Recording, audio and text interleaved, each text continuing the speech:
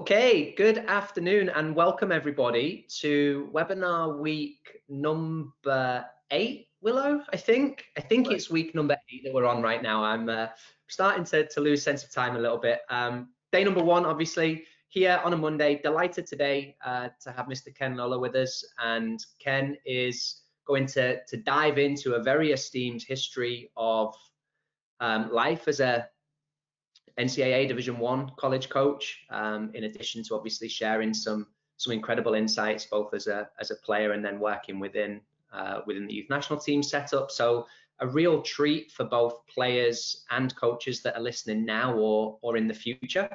Um, I have Mr. Mark Wilson alongside me, Tom Shields. So uh, the people listening live with us now, obviously we will extend an invite to you guys to pop up um, with questions should you have them in the chat function you can just simply type a, a question in there and, and, myself or Mark will try and try and filter that into to the conversation and, and the questions that we have lined up for Ken today. Um, before we get into the conversation, just again to, to, both players and coaches listening, just want to make sure that um, you guys turn your attention if you haven't seen it across our social media channels yet to the Active Minutes project that we at Beyond Pulse launched last week. So we're supported there with our friends from, from Nike Soccer. So players, if you're looking for ways to demonstrate to your coaches how hard you're working to, to own your lockdown and um, to improve every day, uh, please check out that. And, and obviously coaches, if, if you're looking for ways to keep inspiring your players to, to be accountable during what we've termed separation season, please uh, please consider checking out uh, checking out the information that's available on www.beyondpulse.com. So um, back to the conversation, Ken thank you ever so much, first and foremost, for taking a, an hour out of your time this Monday.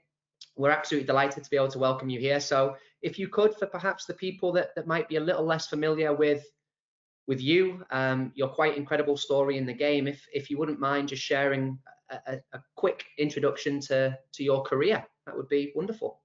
Sure. Well, first of all, thanks so much for having me on, uh, watching what you guys are doing. Uh, the guests you've had on, but most importantly, what's uh, impressive about what you're doing is uh, it is about development. It is about youth development, coaching development. It's about the development of the game. And um, I give you guys a lot of credit because you're putting a lot of time and effort and investing um, in it as well, which um, the the big benefactors is going to be obviously the players and the coaches, but our country. So we so much appreciate what you're doing, and uh, thank you for for having me on. For for me, my career started in in New Jersey, and I mention that because a big influence on me were the coaches and and the people I grew up around. And because it was New Jersey, there was this melting pot. I had uh, Scottish coaches, German coaches, uh, South American coaches, and and at that time the Cosmos were in their heyday with Beckenbauer and Pelé and Bogicevic and so many unbelievable players coming through. And all of this, this culture of soccer had a massive influence on me growing up that I grew up with a, a passion for the game. And because of that, I um, I grew up playing uh, around and with some very good players, but had some awesome coaches uh, growing up and um, at that time had the ability to play college soccer at Duke and after Duke. There was no MLS and um, wanted to extend my career and I think maybe a little bit of, of just prolonging maturity sometimes but wanted to continue to play as long as I could. And uh, indoor soccer was the only game at the time so I started I started playing uh, indoor and it was while I was playing indoor I got involved with youth development with the club and started coaching a little bit and what a impact that had on my life is is understanding um, the power of the game in influencing people in their lives. And I I caught another passion, not only the playing aspect, but then the, the coaching passion, which started after I finished coaching and or after I finished, uh, finished playing, started coaching and led to eventually uh, college soccer again, where I was a volunteer assistant at Duke for a year and um, got a, a, job at an NAIA school, small school, uh, thousand people in the school, run by Benedictine monks, really neat school, and was there for about three years and um, learned a lot. I learned a lot in those three years. It was a situation where um, there was no assistant coach. Um, Tina and I, my wife and I, uh, really we we ran the whole program. We had to cut the field, line the field, wash the uniforms, uh, make the sandwiches. She drove run, one van, I drove the other van, and um, we learned a lot um, in those three years just about coaching and, and especially about leadership and um, from there did well enough after three years to get an opportunity at a division one school the university of akron. Uh, and was there for 13 years. Uh, it was a program that had been struggling had some history but had been struggling. Uh, and we were fortunate enough to bring them um, along and, and back into national prominence. And from there, I got the job at the University of Louisville in another program that had been struggling, had no history, and uh, was very blessed to also have success there, uh, 13 years there. And uh, December of 2018, decided to release that. And in along those uh, that period, also had some awesome experiences with our national team. I got to uh, coach alongside Bruce Arena for a little bit. I did the um, uh, under 15 national team, under 15, under 16 national team for I think it was five or six years. Um, so I had a, a, number of really good opportunities and experiences as well with our, our national programs too.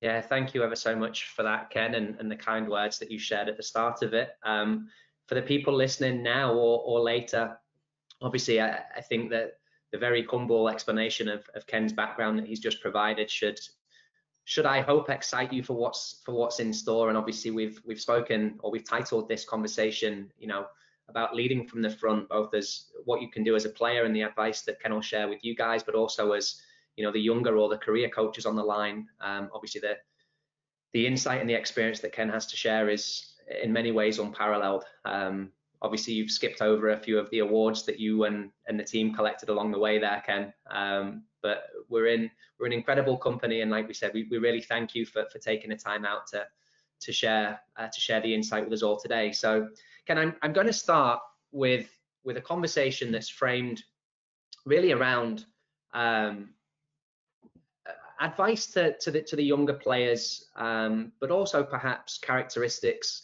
that that you would encourage other coaches to look for um, in the players that they're selecting. So the last few months, obviously, you might have seen that, we've tried to frame this this introductory question around facets of, of inspiration and people that have motivated or inspired coaches as coaches or players, uh, teammates. So my question to you is, could you give me um, could you give me an all-time all-star five-a-side team of of captains that you worked with and, and what specific what specific leadership quality was it about them um, that you think separated them from maybe some of their peers. And i appreciate this is difficult. We don't want to offend any anybody listening now. Um, obviously it is an esteemed career and there's there's not going to be a place for everybody as willow's found out in a few five-a-side teams. Um, so yeah ken if if you could. Yeah you know um, I'm sure I, I could come up with uh, five, um, but there were there were two in particular in my career um, that I think um, designated themselves and and were a little bit different. And and really there were there were certain aspects for them as leaders, as captains, because when you're when you're talking about recruiting and wanting people to be part of your team there are certain characteristics i would absolutely say that we were looking for but when you're talking about a captain i think there's there's a whole nother level there's uh, very specific at least there was for me and characteristics that i was looking for that would allow them to be very successful captains because the uh, the responsibility of that um, you know the the heaviness that that sometimes carried, it, it took a special individual to do it well. You, you can name people captains, but to be successful in it, it took certain characteristics. And the one word that comes to mind more than anything else was trust. That the, the trust needed to go both ways. We wanted to identify people, the captains were not always the best players, but they were they were players that had built trust up both with the coaching staff as well as with the team. And that the perspective of trust with the coaching staff, there were two areas that were really, really important. We we developed values that that drove behaviors that we wanted to live by. And our job as coaches many times is to reinforce those behaviors every single day and everything that we're doing. And it was so so important if these these were values and behaviors that we believed in that these captains modeled that because if we were trying to reinforce these behaviors and they were acting outside of them, and then we would empower them as our leaders, it was contradictory. It didn't all line up. So, first and foremost, we wanted people that were modeling the behaviors that we felt were important for us to be successful. The second aspect that trust wise I, I thought that was really important was we wanted to make sure that they would echo our words, especially when we were not there. That if you had a captain that in the locker room were speaking against what we were saying, now we were chopping off our own legs. Now we were really compromising any of our words and any of our influence because we were then empowering our captains to speak against us. And it's really dangerous when you have leaders that are speaking against what the, the coaches are trying to communicate. So those were two areas for us that we felt that were extremely important and we trusted not only that they were modeling the behaviors and and we could see that a lot but we had to be able to trust that they were going to echo what we were going to say that they were going to be on the same page right? And listen, it didn't mean that they always agreed with us because we we didn't want captains that just always agreed. We wanted them to come to us with questions or issues, but we didn't want them speaking against us within the team, and that would compromise what we were trying to do, our our um, our mission and our vision. On the other side of it, it was so important they had trust with the players that that the only way they could influence the players is that they built up trust. And if they had built up the trust then they were going to have influence. And we wanted to make sure that that the captains weren't just ones that were lining up with us but also had an influence with the players as well. And it was so important that they built up that trust. And and trust is it's difficult. Sometimes a player comes in and and they're a very talented player and you want to put them in a captain's position, but trust is something that is built up over time. It's kind of like um, a forest, right? A forest, it takes a long time to build up, but in one moment, one careless moment, it can burn down. So we wanted guys that had proven over time, that had built up the trust over time, that people that we can depend on and rely on, and not only from a coaching standpoint, but also with the players. And there were two guys that I felt one was at the University of Akron, Johan Moger, um, who is still working in the game. Um, he was uh, uh, international, came from France, and it was interesting for both of these individuals. They were both uh, similar in a lot of ways. They were both international. The other one was Tim Kubel, who most recently was at um, Louisville with us in, in my last few years. Both international, and both when they came over, did not necessarily buy into my vision. Right from the beginning, it wasn't clear that they were on the same page. They didn't trust. And it, here was the key was I had to prove over time through consistency of giving the same communication, of modeling what I wanted them to, to, to live by, and then showing them I cared. I built up trust over time that you can see that eventually for both of them, they came to trust me and me them. And they grew into awesome leaders, tremendous leaders, and probably the two uh, two best I experienced. And and coincidentally, you know what? They also led some of the best teams I've had. Thank you for that, Ken. Um, I'm before we we build through obviously other other conversations. I'm just curious if you can extend upon um, you know, for the value of the, the more the coaches listening and the players. But but what do you mean when you say, you know, modeling the behaviors that you're kind of that you're asking from them? When you say modeling your values, can you give me a, a couple of of examples and and also, you know, if you were if you were comfortable in sharing what those values were um, and if they were consistent from you know, from your first NAIA job all the way through until you left Louisville, or whether they evolved over time? Well, to, to work backwards, they evolved. And, and the reason why they evolved is because I evolved. And um, there's a story about uh, Steve Steve Kerr. He was uh, coaching the Golden State Warriors, and they were uh, interviewing him about the culture at Golden State while NBA was was winning championships, dominating the NBA. And they said, you know, how how did you develop the culture? What was? And he said, well, before the first practice, I went home and I thought to myself, what were the values in my life that were important? What was it that I was living out on a regular basis? Because if I was going to have to ask them to live out certain values and certain behaviors, I better be modeling them. So it is the same with me and, and any leader. I believe this is um, so, so important and so powerful is that we be living out the values and behaviors we're asking of our team. And that's why for me that they evolved over time.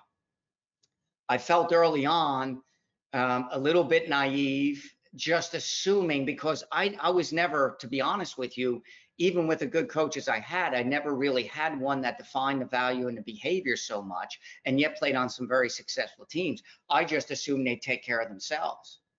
But I learned over time that I needed to be intentional with it, very purposeful with it. But I found that when my uh, when I started to evolve, when I started to grow, when I started to change, my philosophy changed, things I value change. And so it was at the end of the, my career, we came up with three values that I thought were most important for a successful team and probably had the longest standing run of my career of, of success. And it was uh, first and foremost, it was relentless, re relentless effort. That um, I, I believe that it's one of life's greatest principles is that you reap what you sow that if you want heat from the the fireplace you got to put the wood in first right? If you if you want to get something back you got to put some effort in first. If you want a, a harvest you got to sow the seeds. And it's it's just simply that. And, and especially when you have massive goals you need to put in a massive amount of effort. And it had to be relentless not not occasional. It had to be everything because what we knew was this was that our our, our character would define our culture and and in effort you cannot put it up on a shelf. If i went to class and i um, I, I cut corners it was going to reflect my character. If i was in the dorm room and i was doing something that i shouldn't it was going to reflect my character. So so we just assumed that it was relentless. It was everything and all the time that we gave our best effort. The second was mental toughness. And mental toughness simply being um, to be able to focus on what was important, what we could control. And it was something we needed to train. What was our response? We find our situation, we were talking about this earlier, we find ourselves in a situation of great adversity right now. Things have changed. And, and it isn't necessarily ever the event of what happened. It's all a matter of our response because our response will dictate what the outcome is. So mental toughness, we were constantly training their response to all situations. And it's not always negative. Sometimes it's positive. Sometimes you have some success, but what is your response to it will deter determine what your outcome.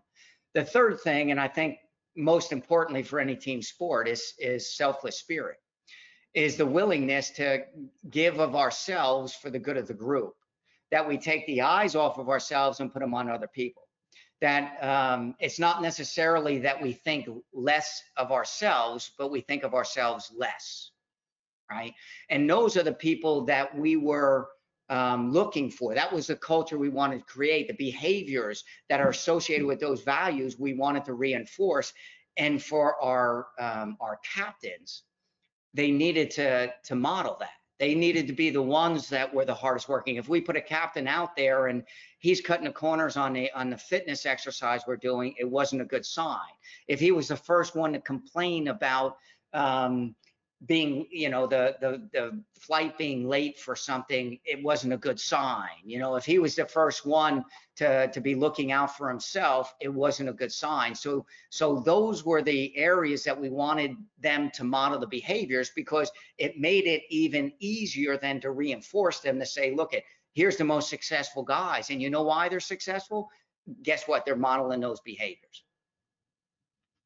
That's wonderful insight, and and thank you for sharing. I, uh, Kelly, I, I, hope that your pen is on fire right now because there was some uh, some quite incredible little little comments there that I think many people will will steal when we produce the summary of this. So, um, Ken, thank you. I, I would just like to to kind of go back to, to what you said right at the start and the the anecdote about Steve Kerr and um, John O'Sullivan, who's a, a, dear friend of, of all of us. I, I think he spoke very similarly um, in in his book every moment matters about those kind of ideas. And and it was more for coaches to think you know how am i going to coach this team isn't necessarily what activities that i'm going to put out. It isn't if i'm going to use you know if i'm going to do fitness tests or play games. You know but as you've said the very intentional very author, uh, very authentic very deliberate approach towards culture formation relationship formation um, and how we maintain certain standards and I think that's just it's such a critical thing that I, that I want all of the coaches on the line to, to make sure that that kind of that resonated because um, it's, it's, fascinating insight that you shared, Ken. So so thank you for that. Um, as we obviously as we go through this conversation, uh, we we do want to bounce around between both players and coaches, and and what I'd like is for you to speak to now the the players on the line that might harbour aspirations. You know, obviously the University of Akron and Louisville were both huge and hugely successful programs under your tenure uh, and, and, your guidance. Um, could you speak over, you know, the, the couple of decades of experience of, of, having people join programs of perhaps um, what if you could name a couple of things that that you that you think might take the freshman by surprise or that you find you, you found yourself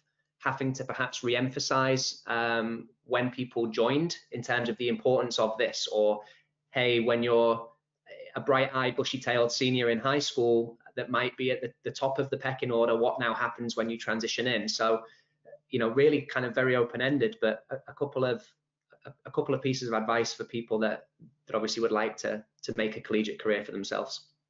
Sure.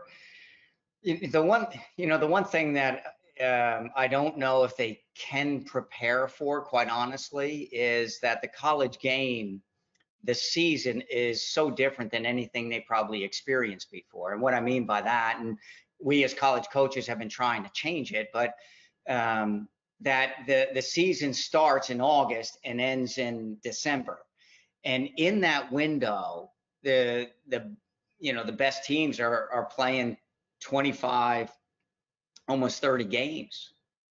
And there is uh, too many in such a short period of time. From the September 1st, for when it starts, to the end of December, you're squeezing in a lot of matches in a short period of time.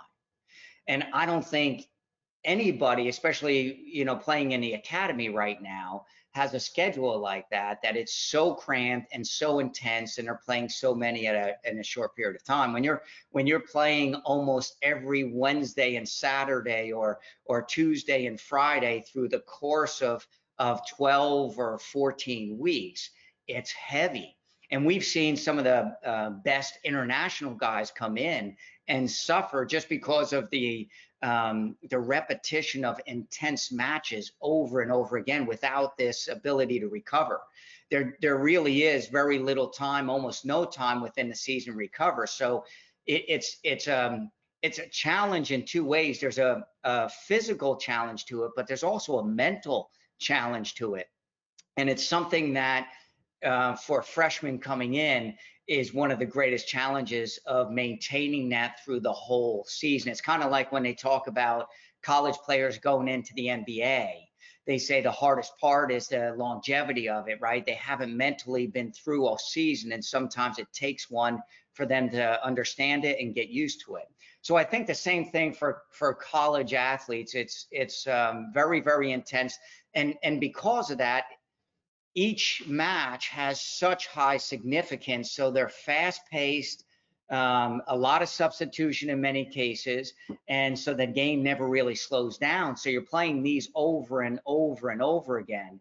And likewise, every then training has so much um, emphasis on it, and and also you're either preparing for the next one or trying to recover a little bit from the last one. So I think between the matches one and the training two, those are two areas over the long of it. It's hard to adjust and it's difficult because they probably haven't experienced anything like that before. The third thing I would say is just independence is being away on your own for the first time of having that independence. And there are some that are better prepared. We've seen some that maybe have gone on and and been a part of academy already living away from home used to making decisions used to taking that responsibility of when to get up i need to be at certain places being on time um, all those things just even freedom of having to make choices based on having freedom those are things unless they've been in that situation are now are things that they have to adjust to and um, are important really important because um, it will dictate your habits will dictate your success. And if you come in as a freshman and haven't established habits of being independent of being self-sufficient it's it's tough to be successful. I think ken that a former guest and dear friend of ours, uh, Jerry McEwen, um, who's the boys director at the ID2 program. Jerry speaks, and it's a different type of leadership, right, Ken? You're the leader of your, you're the CEO of your own company, right? Your soccer career is your company. You are in charge of the decisions that you make, and and absolutely, while you say that there is no there is no way to recreate the same type of intense environment that they're walking into. What what they could be accountable for is how they prepare to best to best accommodate and you know to best deal with with that type of pressure. Um, and we were having a an offline conversation earlier about grit and, and mental toughness and you know those attributes that you know you're hearing it's going to be players i'm kind of speaking directly to you now you're hearing it's going to be you know quite arduous and a grind um, you know those those habit formations that, that, that you can kind of create now to help prepare you as best as possible for that are going to be key, right? And the same types of behaviors that Ken has spoken about that that might have been critical to his culture. Can you go and find ways of building that into your you know daily and weekly life right now because if you can do that if you can take accountability and responsibility now knowing what you want to try to achieve down the line hopefully that very difficult transition even if it's five or ten percent easier, it, you know those marginal gains could be significant. So um, yeah, I just uh, again, it's it's really important advice. And again just as a call to action for the players you know please listen and, and take in these words because it's it's a lifetime of experience that that where it's coming from. Willow you've uh, you've unmuted so jump in mate. Um you know it it resonates with me from a former being at a former club of mine. Um you know, Manchester United was something that everything Ken's talking about encompassed in terms of habit forming. And I think one of the, the important things to remember is as a player, and, and Ken, hopefully you'll, well, whether you'll agree with me on this or not, I don't know. Um, you expect them to make mistakes. Part of going through your environment is a journey of growth. So all of the habit forming, all of the the discipline you're looking to build, um, the simple in principle but extremely hard in practice um, bits you're trying to develop around the players that'll serve them well on the field in any circumstance. Do you see players grow more from making mistakes within that environment? Um, and what is the process you work through with some of the players that have been through that environment to help them understand why it's okay to make those mistakes, but in more importantly, why it's important for them to learn from them? What what a great question that is, Mark. Um, and I believe the essence of coaching, in that um, the understanding that uh, growth happens by getting out of your comfort zone. That um, there are growth rings, and if you're in that growth ring of order where um, you're comfortable and everything is uh, in order, there's very little growth there or, or none. But when you step out of that into um, a place of complexity, where things aren't in order, where you're you're not really sure of what the outcome's going to be, that's where the growth happens. And that's part of coaching is how do you stretch them? How do you get them out of their comfort zone? How do you get them to try things that they haven't tried before, knowing that if they try them, the outcome might not be successful, that they might fail. But that's the essence of it is to get them outside of that. How do you get them to do it? partly by constructing how do we construct an activity that it forces them to have to do something a little bit different a little bit better a little bit faster maybe than what they've done in the past but part of it is also to create an environment where there's trust where they can be vulnerable where there's a freedom to it that they know that they're not going to be crucified because of the mistake that they made we always as long as they were acting in the behaviors that we wanted to reinforce. Mistakes are going to happen sometimes. But don't be because we're not working hard or not because we're not mentally tough or focusing on what's important or because we're being selfish rather than selfless. As long as we're acting within those behaviors, we wanted to encourage them to, to grow out of their comfort zone where they are, to try new things, knowing that failure is simply part of the growth that's the essence of coaching is keeping their confidence up while also pushing them out of their comfort zone to try and do new things because that's where the growth is what an awesome question that is and i, I believe it's the art of coaching and that answer there tells me i would have absolutely loved playing for you ken absolutely bang on awesome. I think that I, I would have loved to have you as a player is it true? I don't even know. Maybe. Um, Ken, it's a great segue into to kind of the next question that I have behind the importance of character in the recruiting process. So obviously you spoke earlier about captains and and they're they have a, a very unique and um, and specific set of, of responsibilities. But but could you please just extend the, the, part of the conversation you've just had about what what you look for from players in terms of the type of person you want to bring into your environment. I I assume that if you're going to be you know one that does try to stretch them and, and maybe display we, we speak about safe uncertainty and creating those kind of cultures where you, you are always stretched and um, how how important is it for players to demonstrate you know emotional flexibility to be prepared to to put you spoke earlier about like a we before me concept like the needs of the team before the needs of myself. Can you just speak to you know to the importance of those characteristics and maybe the work that you did on on trying to understand the person you were bringing into your program you know sure. in addition to the player? Sure. It was it was critical that we we knew them and in knowing them of building a relationship with them um, how critical it was that, um, like we talked about earlier, trust, that in coming in, we knew them enough to trust them, to ask them to be a part of our program. And also that they were coming here because they trusted us to help them reach their goals and potential and what they wanted to achieve, not just in soccer, but in life. So it was important that we we built that relationship in the recruiting process. Obviously, if we felt that relentless effort and mental strength and selfless spirit were important to us, we were evaluating on that. We go, you know, I work with companies right now, and this is interesting, where um, they bring people in based on talent, and then they'll evaluate them on their behavior, and it doesn't make sense that if they're going to evaluate them on their behavior, they need to then bring them in based on their behavior.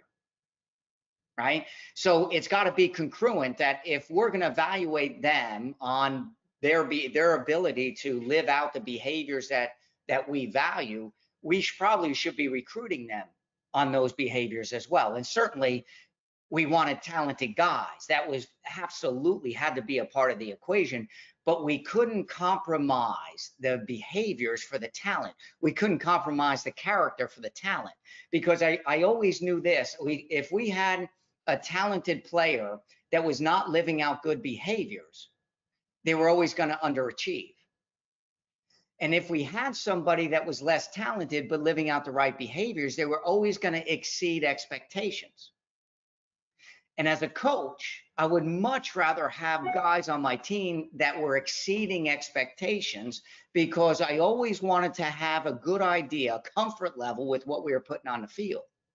If it was up or down or you never knew, it was difficult. So in the recruiting process, I felt it was important. If we were going to ask these guys to live out these behaviors, we recruited on that and talent as well above and beyond that, I think one of the key ingredients is coachability. Is that people are willing to receive information and grow from it. That if if they're not um, humble, if they don't have the humility, if they don't believe that they need to receive information to grow, it's going to be very difficult in the environment that we create for them to be successful. And there have been moments where we found kids coming into our environment we we thought we had it nailed or or maybe we we didn't do enough uh, homework on it. They come in and they're not coachable. And after a couple of years we say well listen this is obviously not the environment for you then. Because if you're not willing to receive the information we're giving you if you're not trusting in in in the guidance we're giving you then obviously you need to find somewhere else where you trust in their guidance. And and that I thought for me was the key was their ability to be coachable, receive information, take the information, and then not only take it, but then apply it. Because there's a lot of people that may hear it, but never try to apply it into their lives. And I thought that was critical, critical for that. The other, the other is, is simply this strong desire to want to grow the strong desire to want to be better, the strong desire to want to be their best. We we were always looking for guys that had um, massive dreams, big visions, uh, goals they wanted to attain, and we were willing. We said in the recruiting process, listen, we want to partner with you on this. That we're, we're going to join you with this, whatever the goals are. There were some we had to expand their brains a little bit more and help them see beyond where they were seeing, but in the end, it was our responsibility to partner with them and help them grow to reach whatever their goals were. Man, what we never did was talk them down from a goal. We would always then, you know, make sure that we're a partner to help them reach it.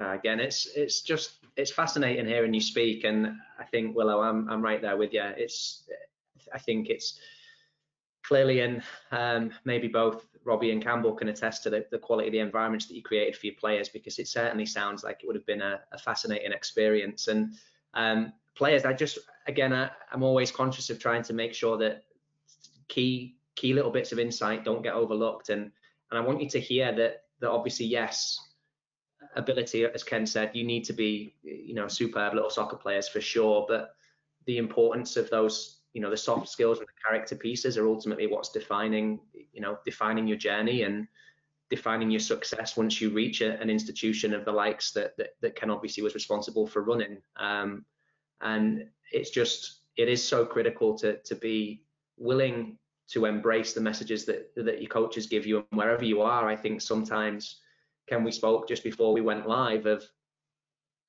sometimes players perhaps you you don't the insight that you're getting doesn't quite resonate in a moment and it's only kind of on reflection maybe sometimes after you've experienced some growth that, that, that the penny drops. But i'm hoping that, that you can hear you know the importance of responding in moments of adversity the, you know the importance of you know having those kind of aspirational big dreams um, the goals to chase and the willingness to to always you know we use the phrase be better tomorrow than you are today right? That kind of that mentality in every walk of life is, is so critical. Um ken without wanting to to to knock this too much. Um, just 30 seconds, if you could. There's younger players listening right now that perhaps are maybe a little a, little naively unaware of the the, the character that or the personality that they, they can promote to the world via social media.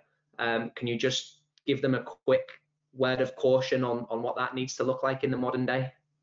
Yeah, absolutely. Um, that we we were tracking social media and we needed to because again if we were going to invest and and not just invest from a scholarship standpoint but if we were going to ask somebody to be a part of our program we were asking them to be a part of our family and so the investment of time um, and our energies, we wanted to make sure we knew who they were. Um, so uh, we were absolutely tracking social media as well.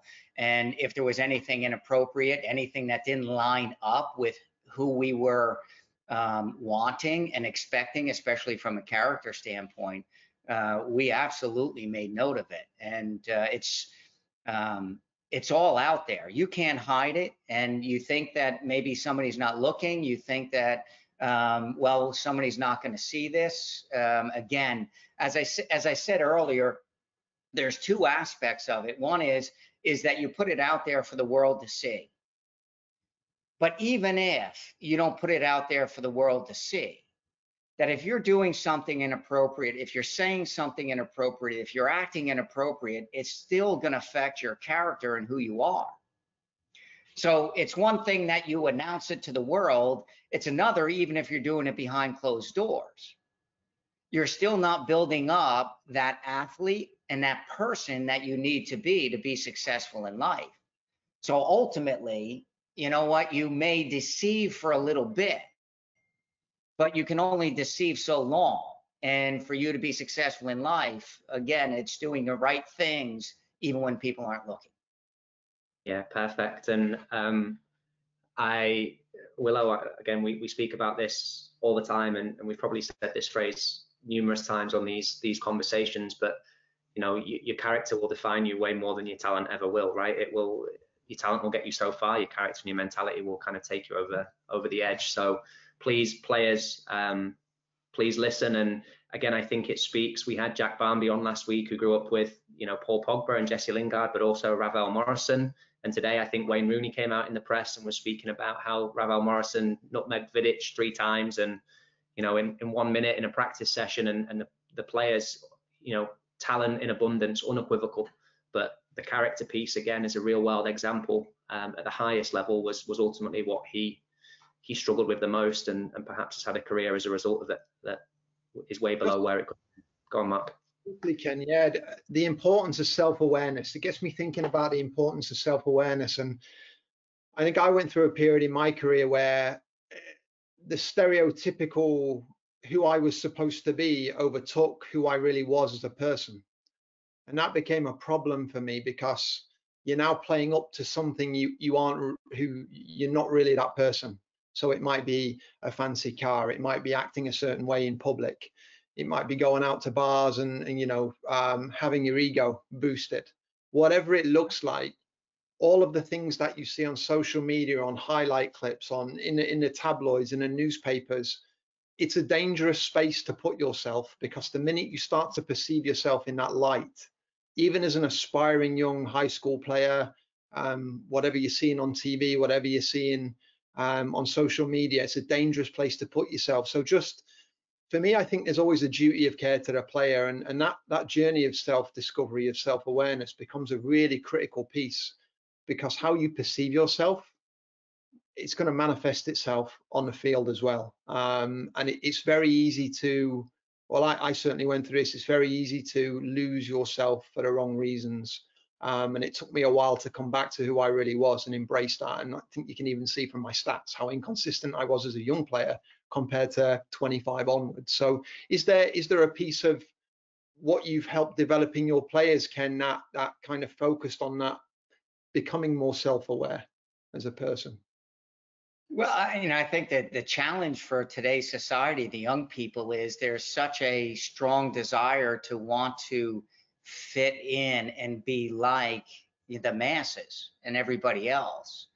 And uh, I, I, in fact, I just had a conversation. One of my uh, former players recently asked me a question similar to that. How do you you know, how do you become great? What is the ingredients? What does it take to really become great? And, and the reality of it is you have to distinguish yourself. You have to be okay with being different. You have to be okay with not lining up with the masses because if you want to be top of the five, in a top five percent in the world in whatever you're doing, you're going to have to be different you're going to have to have a significance that is different than everybody else. It's when you're pursuing and you want the acceptance of the masses and you want to be in the middle of that, again, seeking comfort rather than significance. that's the challenge and it's hard and and what what we try to do in our environment and in the culture we created is to um, is to communicate of how important it is that if we wanted to achieve something that nobody else has achieved at the University of Louisville, we were going to have to do something different and then act different. And if you don't want to chase something big, then fair enough. But if you do, then it takes something different. You can't line up with everybody else at that point. Yeah, it's, it's great again. And um, Ken, I, I think un, unscriptedly, I think that leads nicely into uh, to, the, to the next question, just transitioning back to, towards coaches, um, but on a similar, you know, a similar idea of what Mark's speaking about. I, I do think that that young coaches specifically talk, sorry, more senior coaches speak specifically about the days when they were younger and you know they didn't quite know who they are, what they believed in, and therefore their actions and behaviors were reflective of this. And, and maybe they look back and they're like, ah, probably shouldn't have done it that way, probably shouldn't have spoken that tone, um, maybe shouldn't have. It could be ego control. It could be I'm I'm in charge. Obviously, leadership and what it means has has definitely evolved over the last couple of decades. But if you could, you know, position this as, as speaking to either your younger self or any of the, you know, younger generation of coaches that, that might be listening, a couple of pieces of advice for them was they kind of enter into, you know, a head coaching role or a, you know, in, in the club world, maybe even kind of a technical, uh, a technical lead, a, a director, anybody that's responsible for managing a team of people. I would I would start by saying this. It's um, speaking to all the coaches, it's not about you. That your power comes from making other people powerful, right? So it's not about you. And I thought early on in my coaching career at Belmont Abbey, I was uh, leading from a very uh, selfish, um, very um, self-orientated position. It was about my career. It was about championships. It was about my own self-image. And and the reality of it is you can do that for a short period of time. I actually had a little bit of success in doing it, but you can't sustain it that way. That if you're selfish in your coaching, if you're doing it for yourself, if you're doing it for your own ego, your own self image, your own uh, championship and awards and recognition, there's not going to be a legacy to it. There's nothing beyond that. And, and eventually people are not going to listen. And it's going to be very transparent. You can't build up trust that way. And it was, there was this point I was at um, the University of Akron and we had a season where we underachieved and um, our staff, you know, getting together, uh, we simply uh, decided, ascertained, we reviewing the season, it was because we didn't have good leadership within the team, the players, that the the older guys, the junior seniors didn't step into those moments. They they didn't embrace it. They didn't lead in the way that they should have, which put us in a position to not be successful in certain games and we underachieved. And then just days after that, I read an article about Coach K from Duke basketball, and they're asking him about his teams that he had and how much success and the culture, and then especially about the leaders that they had on their team. They said, How do you find all these good leaders? And he said, We don't find them, we develop them. And it was at that point I said, Oh my, oh my, it's me. It wasn't them, it was me the reason why we weren't successful is I didn't, I, my, my eyes were on myself, not on them. And it was my responsibility that I didn't help them be successful in those moments. And it would have this moment where I realized it wasn't about me. And it would change my philosophy. It changed the way I started coaching. I was coaching now from a, a still chasing championships and and trophies, but it was uh, coaching significance because I was I was trying to help them reach their potential for us to be successful. It wasn't about me. So that would be the the first thing. It changed my career, and at that point, my career actually took off. The second part is it's not about you, and the second part is it's actually all about you and here's here's the paradox of this is that for you to be able to help them grow for you to help them reach their potential we have to grow first That if, if we never dig our well first, we have nothing to pour out on other people. I realized that as I grew as a person, as I grew in my own life, as I grew as a leader, oh my goodness, how much better they got because they were a reflection of who I was. So my eyes needed to be on them, but I needed to take the responsibility to grow daily, every single day, so I had more to offer them. And the deeper my well, the more I could offer and how that combination of me taking the eyes off of myself to help them reach their potential and me taking the responsibility for my own growth so I can help them those two things together as a young coach I think are critical that they understand that so that they can ultimately help people reach their maximum potential. Incredible. Thank you. Um, and again, it, it, it leads kind of into what is really going to be the, the, the final one of of my kind of pre-prepared questions. So I would to coaches or players, please get thinking if you have anything specific that that you want to to ask. And obviously the the, incri- uh, the incredible insight that we're we're being blessed to listen to is um, we're in, we're in well we're having a treat, aren't we? So uh, let's if you've got something to to ask, please please take this opportunity. But um, yeah, Ken, look, I, again, it, everything that you've said are um, the characteristics and their, their personal qualities and, and values that you know I and, and Mark and a lot of you know I know firsthand a lot of the people on the call you know share. Um, but speaking specifically to the players and the coaches about obviously the unique moment that we're in. So you've spoken about filling your well and I think that can go obviously both both to players and coaches but how how should people be taking this very unique time to, to upskill? Um, we've used the phrase separation season both when speaking to players or, or to coaches because you know it's probably going to be a period of maybe 10 weeks or more from when we last stepped on a field together to when we return. Um, and hopefully, if the same types of characteristics and, and values that that you spoke of earlier are witnessed, then we'll be coming back better versions of the people we were when we left. So what what could they be doing um, right now? Is there something that you wished you perhaps had the opportunity to learn about sooner that you that you didn't and wish you could have gone back? Um, just you know, basically, what what can they be doing so that whether you're a player or a coach, when you return to the field, you're ready to to crush it? Yeah, it's a great question, Tom. I appreciate you asking it. Um, what you know is interesting because I found myself when I resigned from uh, Louisville, uh, Tina and I, my wife and I, we really weren't sure what we were going to do next. We we we didn't have um, a go-to, so uh, we had uh, weeks, uh, maybe a couple of months, where for 30 years I had a real rhythm to my life. I knew what my life was going to look like every single day, and now. I, I jump into a life where the rhythm was broken, the order was broken, and I needed to. Um, and I, I welcome I welcome some of the restoration that came in that, but there came a point where I knew I needed to take control again.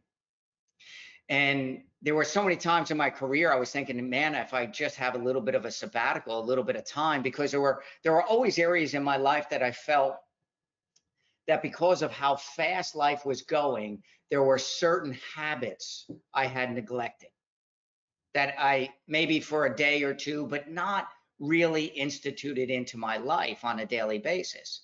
And I realized once I, I caught myself, got my bearings, got my feet under me again, that I decided that there were certain habits that I was going to live by on a daily basis, right? And I, I had good habits as a coach, but now I got to renew them and and restore exactly what I wanted. And and you know, when you look at successful people, there's certain things they're doing period.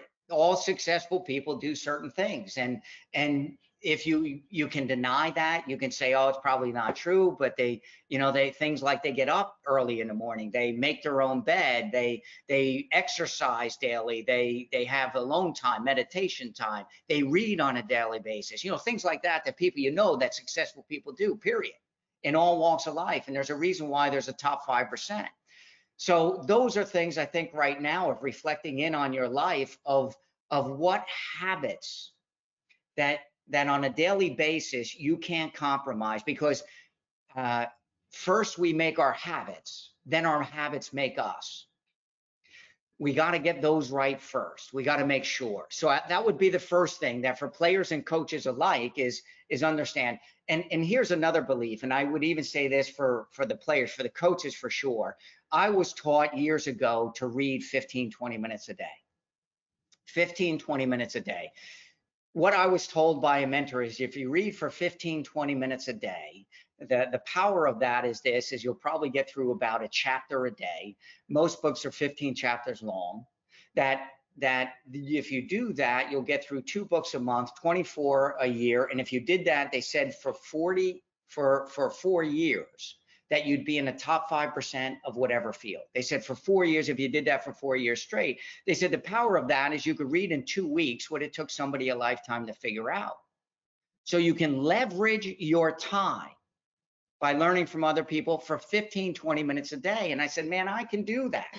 I can find 15 or 20 minutes in my day. I know I can. And I believed him. And it's one of the reasons why I'm on the call today is because it's, it's not my information, but it's me learning from other people and simply then adapting that into my life. There's a power in reading from good books and good information, right? The next thing is, especially for the coaches, it's the same thing with mentorship there are a lot of people out there that I'm sure everybody would want to learn from. There was a point in my career, I was at Belmont Abbey College, and I called up Bruce Arena. He was at DC United. Didn't know him. I didn't know him, but I called him up and I said, listen, can I come watch your work? And what do successful people say? Of course. Successful people want to share with you why they were successful. So now's a time where there's a lot of people that guess what, especially in this profession, they have time on their hand. What do they want to do? They want to share why they're successful. So can you now as coaches reach out to people, people you admire, people that have the fruit on the tree, right? That you want something, you want to be that someday. Can you reach out to them and grow in that area? Because again, we grow in, in one of two ways from our own experiences, which are painful and slow, or we can grow from somebody else's experience, which is a lot less painful and accelerates the growth. The last is is just improvement in your game. If you're a player, how good can you get with the ball? For me, that is most critical. I was I was not very big, I was not very fast, but I could I could touch the ball. I was very technical because I could go out in my backyard with me and the ball, and that's all it took to improve my technical ability. That's it. There's no excuse if you have a soccer ball, you can improve your technical ability. If you improve your technical ability, you improve your value and increase your value as a player. Period. Period. And that's something that each player can take on themselves. If you have a player and the ball, that's all you need at this point and time, and you got plenty of time, that's all you need. So right now we can increase our value as a player simply by increasing our technical ability.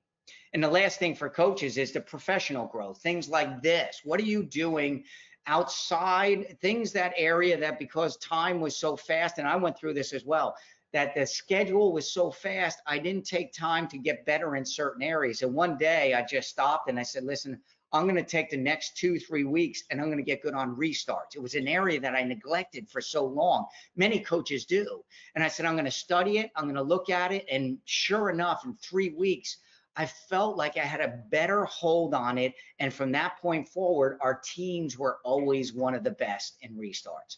Certain areas that you feel you need to grow, can you find those? Because right now, internet wise, there's so much information out there you can get so much and grow so much just from the internet.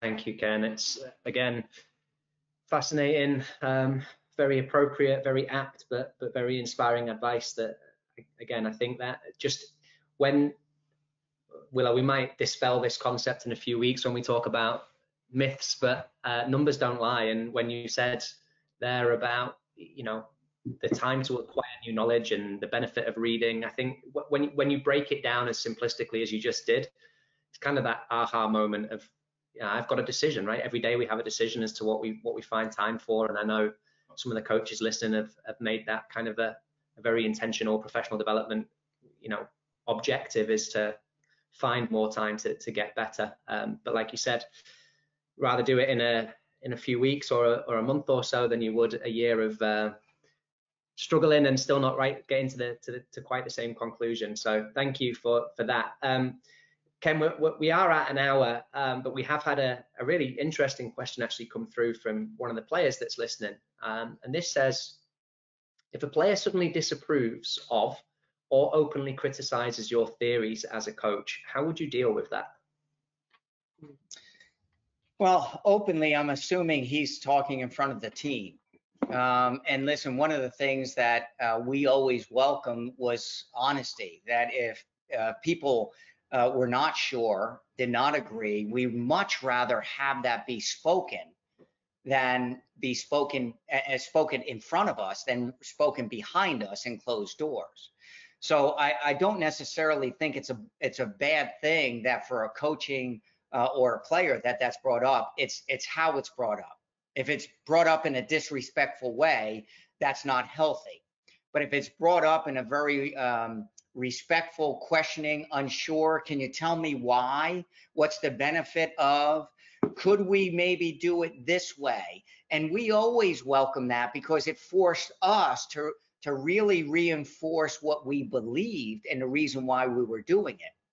So the, the key is is is always this and we said this not only with our staff but our our captains as well when we would have meetings we would welcome interaction conflict because conflict is okay as long as it comes from a place of trust that everybody's working towards a common goal for the good reason of we all just want to win we all want to get better we all want to improve whatever it is but if we leave this room whatever we decide we all have to be on the same page. And that was the key. Is is it's okay to have those conversations. It's okay to have conflict.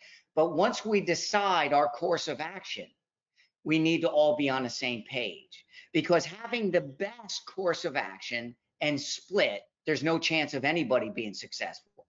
And even if we have a course of action that isn't quite the best, but everybody on the same page, we got a chance now.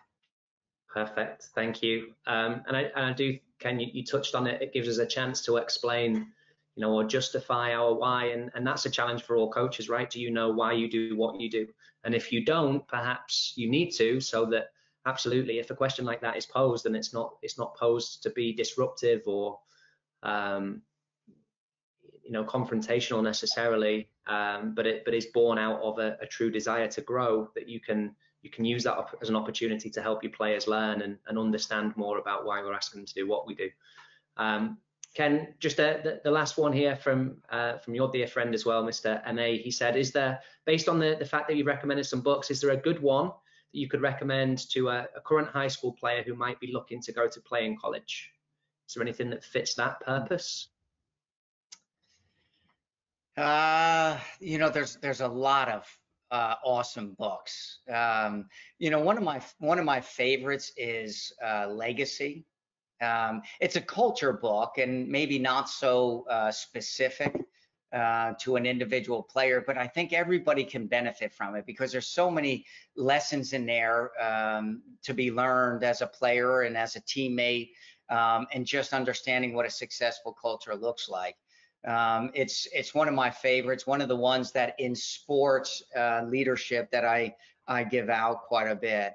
Um, yeah, I would I would say probably that one right now would be would be one I I would recommend. There's there's a lot of ones just off of it as well. Things like um, I think one of the most um, uh, beneficial ones. Eh, the Energy Bus is good. Um, again, another culture one that that we've given out quite a bit. There's a few behind me, but those are more, I think, leadership ones than individual.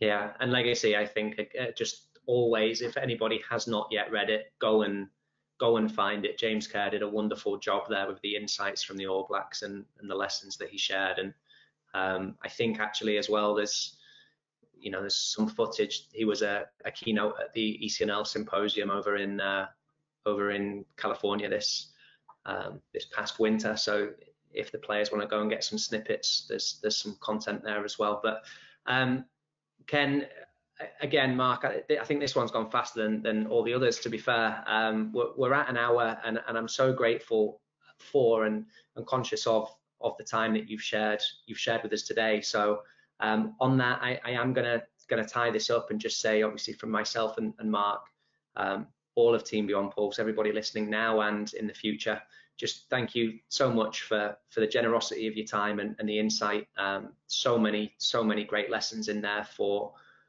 everybody, player or coach. Uh, that one's going to be played on repeat, I think, a, a few times. So um, yeah, just sincerely thank you ever so much for for joining us today. You're welcome. Thank you so much. I appreciate you inviting me on. And and for the coaches, the players, um, if they want to contact me, uh, probably email's the best. It's it's pretty simple. It's Ken at kenlolla.com.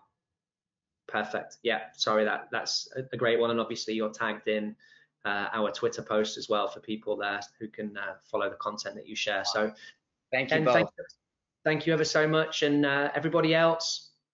Um, you guys obviously stay tuned. We we have a number of, of upcoming um, upcoming webinars for the rest of the week. We're joined by John Gallucci, who's going to be speaking again a little bit more on on leadership, but from a player perspective for, for how you can control your athletic well-being and, and, avoid kind of injury on the return to play. And then um, Matt Briggs, who's at Real Salt Lake, who's going to be talking to how you develop or change your strengths into super strengths and separate yourself from a crowd, as obviously Ken had, had referenced earlier from a from a leadership perspective. So um, yeah, thank you ever so much, Ken, and, and we look forward to, to, everybody who's listened today joining us again in the future, either live or, or on demand. Thanks, everybody. Take care.